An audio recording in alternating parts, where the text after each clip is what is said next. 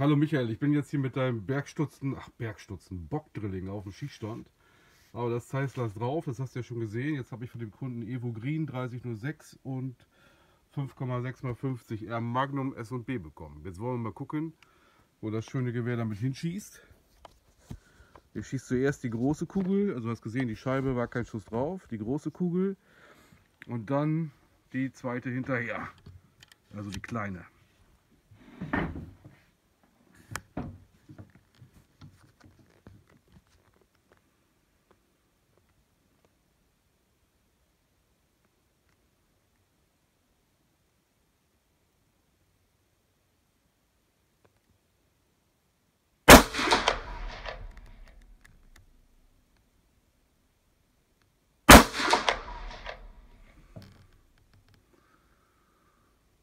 Ja, das ist ja gar nicht so schlecht.